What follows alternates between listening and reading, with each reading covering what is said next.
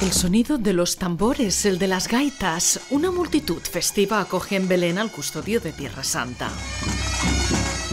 La jornada en la que comienza la espera de la Navidad viene marcada por gestos importantes. Se abren las puertas del muro para dejar pasar un largo convoy de coches. El custodio avanza a pie con dificultad entre la gente, llevando por las calles de la ciudad el fragmento de reliquia del pesebre, llegado pocos días antes de Roma. Es una gran fiesta en Belén.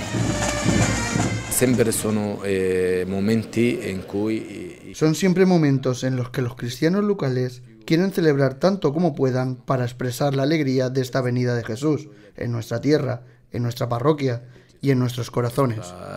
Terra nella nostra parrocchia anche nei nostri cuori. It's a holiday because you speak, you know. eh, Es una fiesta y la fe de la gente está muy viva y es practicada. El hecho de que una parte del pesebre haya vuelto aquí a Tierra Santa ha sido un acontecimiento importante que todos esperaban.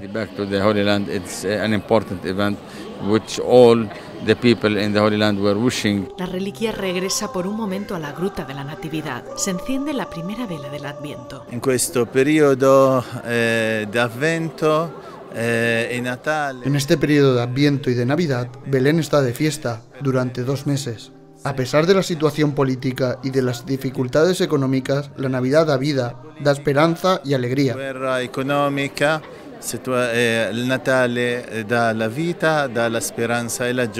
En la Basílica de la Natividad, en este día especial, hay también grupos de jóvenes europeos para una experiencia de algunos días, junto a sus compañeros que viven en diferentes ciudades de Tierra Santa. Como persona que vive aquí en Tierra Santa, una tierra que cada día llora a causa de la situación política, no hay nada por lo que oremos más que por la paz. Eh, a través de su experiencia, su testimonio, volvemos también nosotros a las raíces de nuestra fe. Compartir el primer domingo de Adviento aquí en Belén supone una emoción realmente fuerte.